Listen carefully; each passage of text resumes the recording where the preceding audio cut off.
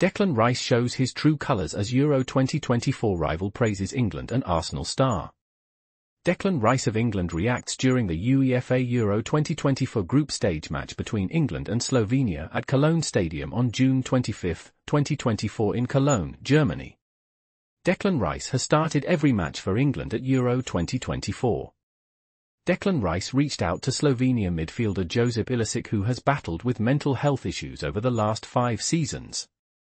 Rice, 25, was at the heart of England's disappointing 0-0 draw with Slovenia at Euro 2024.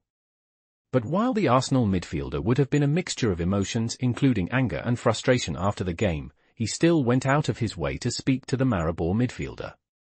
For seasons ago, Ilicic announced that he would be taking a break from football to focus on his mental health, before departing the sport again 18 months later for a similar sabbatical. Ilicic's form for his club Maribor convinced Slovenia boss Matjaz Kek to take him to Germany. He was introduced onto the field for the first time in the tournament during the draw with England. After the game, Rice went out of his way to offer his support to the 36-year-old. After the game, Ilicic said, I am sincerely pleased, even today when I entered the pitch a player complimented me and told me that he respects me a lot, this pleases me. The whole world knows my story. Who is the player? An Arsenal midfielder, you know well. Declan Rice, yes.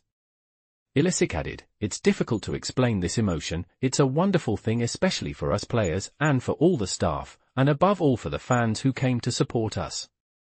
It's not that I'm going to stop, but I was missing a finish line like this to say that I gave my all to achieve this type of match and result. In a previous interview, the ex-Atalanta midfielder offered an insight into his struggles. He said to Sky Italia, I was afraid to go to sleep. I thought I would never wake up in the morning and see my family again.